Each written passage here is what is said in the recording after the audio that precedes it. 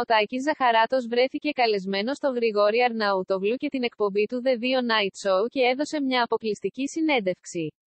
Ο αγαπημένος ηθοποιός που, φέτος, βρίσκεται σε ρόλο έκπληξη στο επιτυχημένο σοου ταλέντων του Αντένα Ελλάδα έχεις ταλέντο, μίλησε μεταξύ άλλων και για την σχέση του με την Άτζελα Δημητρίου.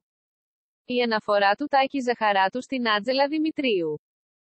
Έβλεπα την Άτζελα πάνω στη σκηνή και όπως κοιτούσα τα μαλλιά της έλεγα πως κάποτε εγώ έμπαινα μέσα σε ένα κτέλ και μέσα σε ένα βαλιτσάκι είχα τα μαλλιά της, τα παπούτσια της ρούχα της και πήγαινα για παραστάσεις ως Άτζελα Δημητρίου.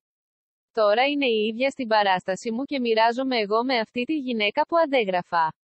Αυτή η γυναίκα τώρα με περιμένει να βγούμε μαζί στη σκηνή. Δεν θα μπορούσα εγώ αυτή τη γυναίκα να μην την τιμήσω και να μην βγαίνει καλύτερη από εμένα.